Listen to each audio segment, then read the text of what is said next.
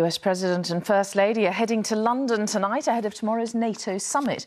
But they made sure they left the White House looking very festive and um, white.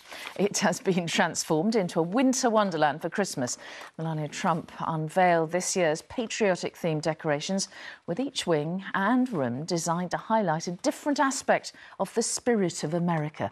The decorations include 200 pounds of gingerbread and a total of 58 Christmas trees.